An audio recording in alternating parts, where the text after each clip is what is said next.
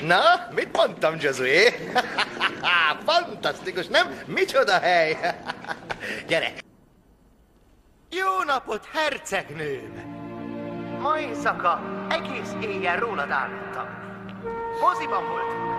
Az a rózsaszín ruha volt rajtad, amit annyira szeretek. Hercegnő, csak rád gondolok. Mindig rád gondolok. Nagyon szeretlek. És most